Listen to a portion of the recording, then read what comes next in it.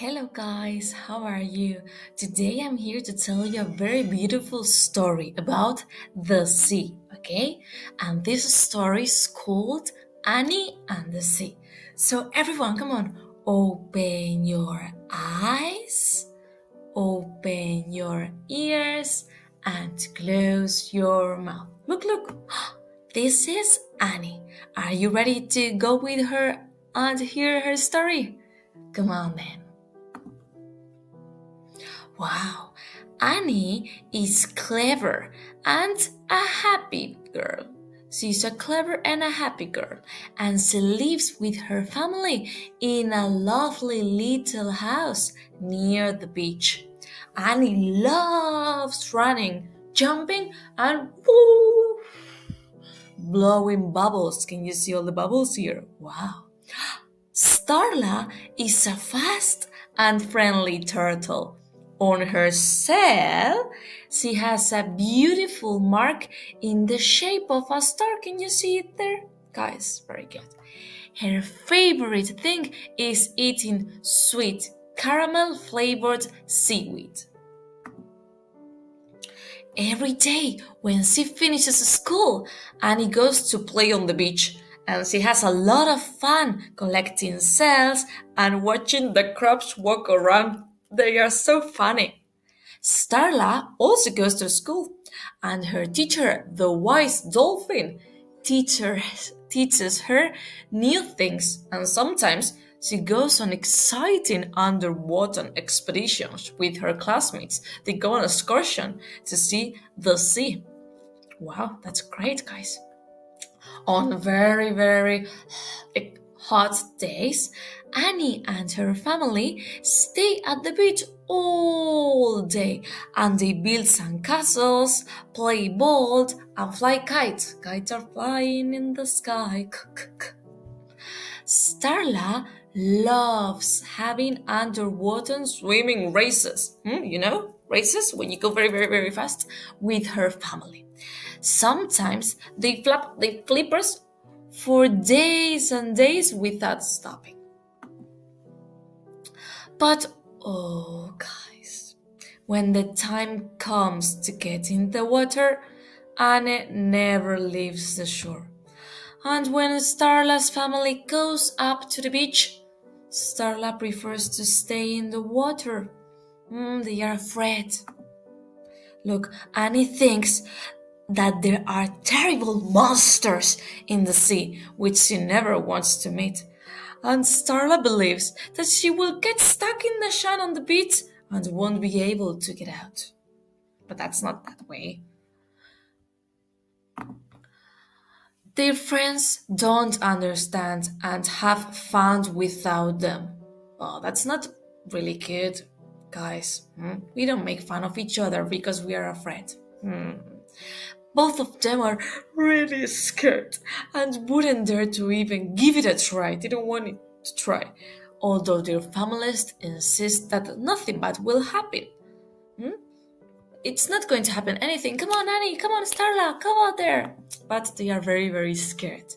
But one day, they get tired of missing out the fun and decide to give it a go.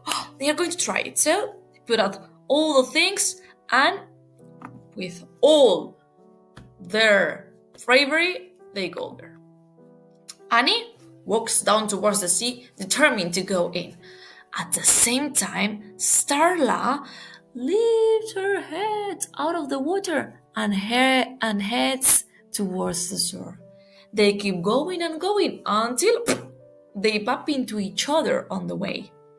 Who, who are you? I'm Annie. I'm Starla.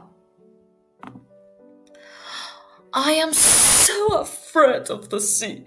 There are terrible monsters in there, says Annie. And Starla says, You look very scared. What's wrong? There's nothing in the sea like a monster. Come with me and I will show it to you. Ay, the sea is fantastic. Come on, come on.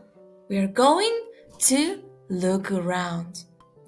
The first stop is Coralina the whale, who wakes up every morning with her singing la la la la la la la and she takes us to school on her back. Can you see all the fish and the seahorses on the back?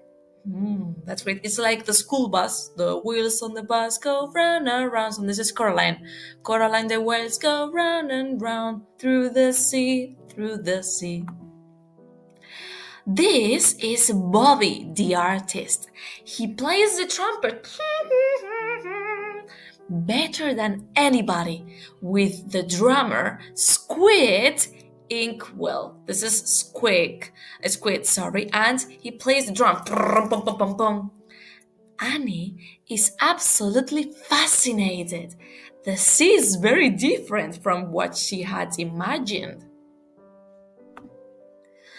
The sea is so much fun, Annie, said Starla. That's why I never go up to the beach. Well, also because I'm a little bit scared.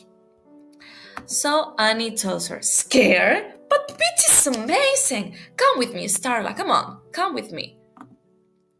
Together, Annie and Starla come out of the water. They go running on the sand, they dance with the crabs, and enjoy the sea breeze. Starla is no longer afraid of the beach and helps Anne build sand castles. They have such a great time together.